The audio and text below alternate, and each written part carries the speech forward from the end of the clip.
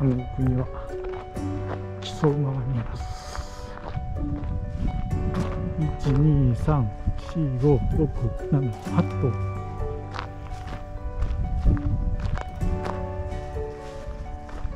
木曽馬のお腹ってものすごく大きいんですよね。